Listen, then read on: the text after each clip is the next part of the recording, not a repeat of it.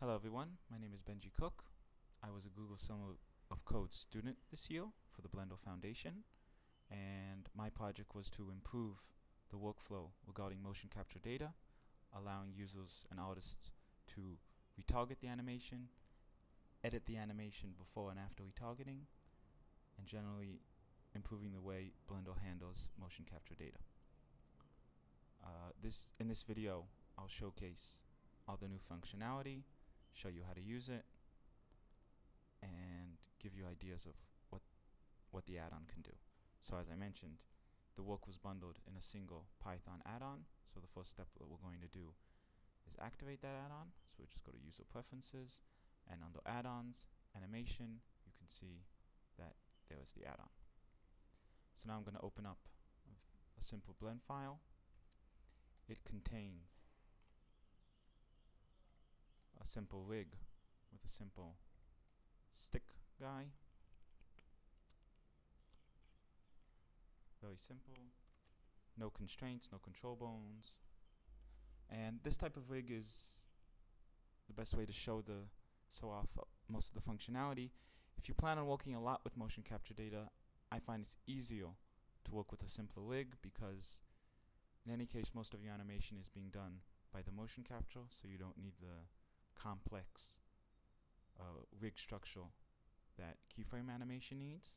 However, in the later tutorials, I'll show how you can also obviously retarget animations to those types of rigs.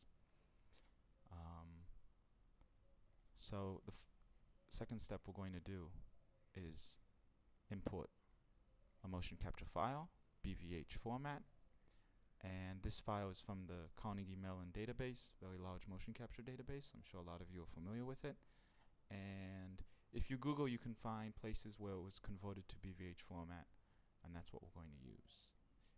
So I'm just going to import the file. Takes a second. And there's and we've imported the file, and there it is. It's a simple walk animation from Series 6 of the Carnegie Mellon database. Uh, I'm just going to set the scene to 500 frames because that's roughly the length of the animation. Uh, so the first issue, as we can see, is that the animation is walking up the z-axis instead of across the y-axis. That happens because different 3D packages use different axis systems. And under the three new panels that are added by the add-on, under the object section of the of the properties window, you can see those mocap tools, mocap fixes, and extra mocap tools.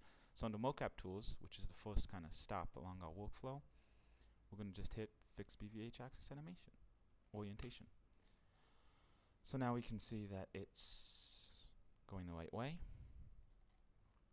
Uh, the second step is to scale down the performer so we can easily see the two rigs next to each other. I'm just going to hide the mesh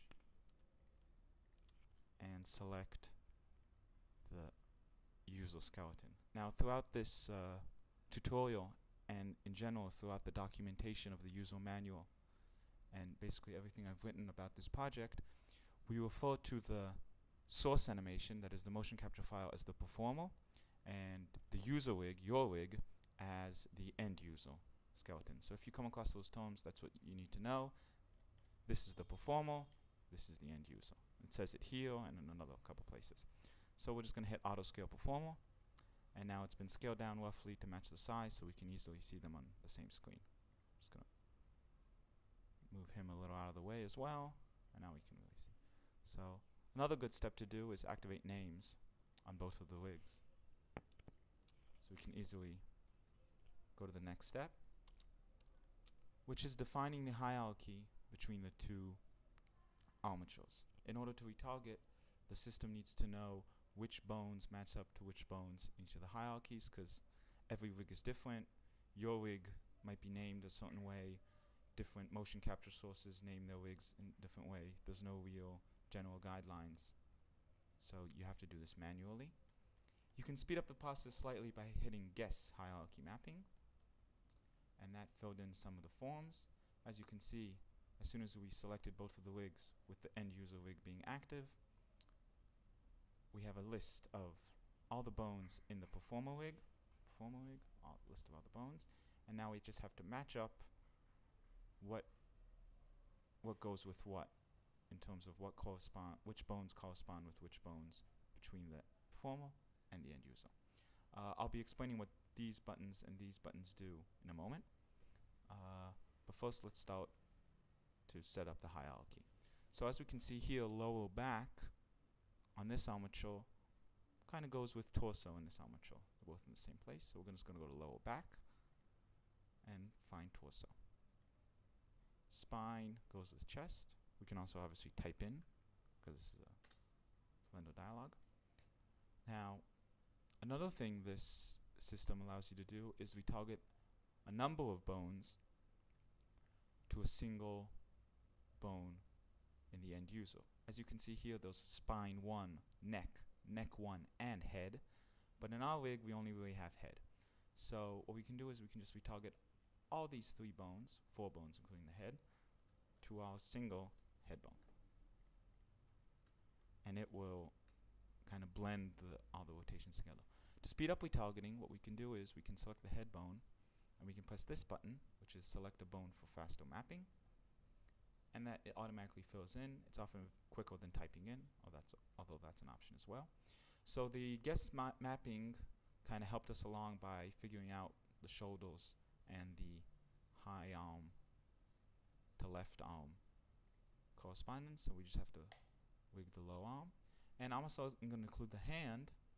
You don't have to retarget every single bone, so I'm just going to leave the left left left thumb, left finger base, and left hand index bones unmapped. Uh, that won't affect the retargeting as we really don't have fingers here. We don't even have a hand bone. But I like retargeting these two bones to the single bone because it tends to look a little better. Uh, defining correspondence is often a process of trial and error, as you'll see in a moment. Uh, so now we can just go down the list and, whoops, continue our walk. As you can see, selecting the bones is much quicker.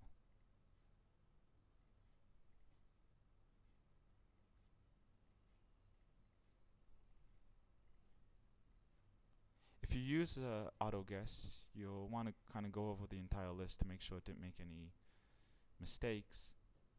It's still a bit of an experimental issue because it's a very difficult thing to figure out what goes with what. The best way is to have the artist do it. Alright, so now that the mapping's done, we can hit Save Mapping. Uh, and then what that does is it saves the data onto your rig. So if you import a another motion capture file, which we'll do in a few minutes, uh, it will save the work you've done with the retargeting, and now you have to hit his load mapping, and it will remember everything. So if you are if you're retargeting a number of animations from the same source, this really speeds things along. Alright, so we have a couple of other, other options here, uh, such as the name we want to assign to it. I'm just going to leave it as the default 0601. Uh, frame skip. Frame skip is, uh, as you can see, the amount of frames to skip for previewing retargets quickly. So as this is the first kind of first try of the retarget, I'm going to set this to 10. Makes it go much quicker. And we'll get to what advanced retarget is in a moment. So I'm just going to exit pose mode and hit retarget. And it did that very, very quickly because it's only doing every 10 frames. So the retarget looks good. This type of error is due to the fact that we're doing every 10 frames. So you don't have to worry about that, those snappings. You can see that they always happen on kind of uneven frames. Um, but what I do want to check is how the, mesh, the formed mesh looks. Now as you can see, due to differences between the rolling of the and the source of the animation and your end user rig, uh, which is an issue that's difficult to predict, uh, we can see like this type of twist. But have no fear, we can fix that. We're just going to do undo I'm going to show the mesh.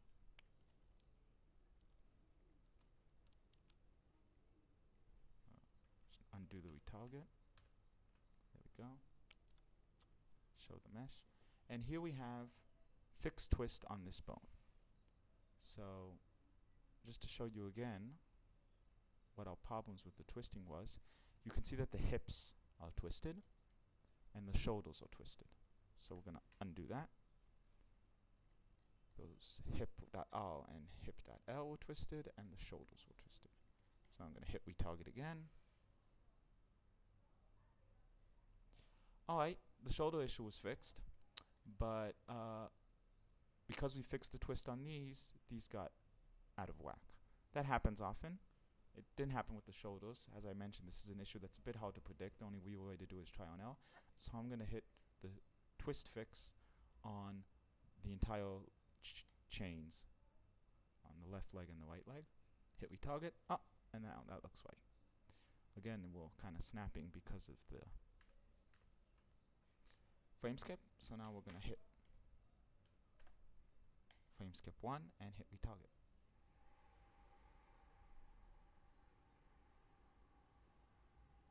This will take a bit of a while because it's retargeting every single frame.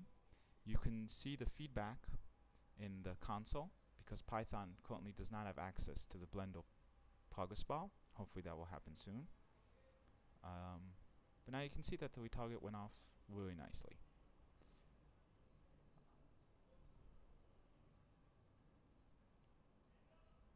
Continue, continue to the next tutorial and I'll showcase even more of the options.